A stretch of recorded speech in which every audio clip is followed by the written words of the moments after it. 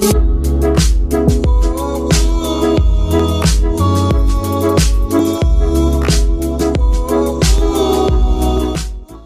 you happen to be a smoker, which I'm not, um, the only place you can get cigarettes in Hungary in these little brown shops, the Nemzeti Dohánybolt, the national smoking shop or tobacco shops.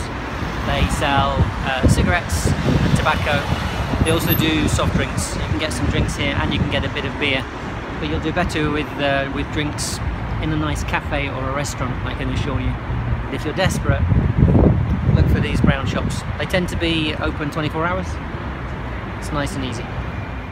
So just because there's an 18 symbol on it doesn't mean it's a sex shop. It's not. It's just a small kiosk that sells cigarettes because you can't get them anywhere else. Sex shops are different.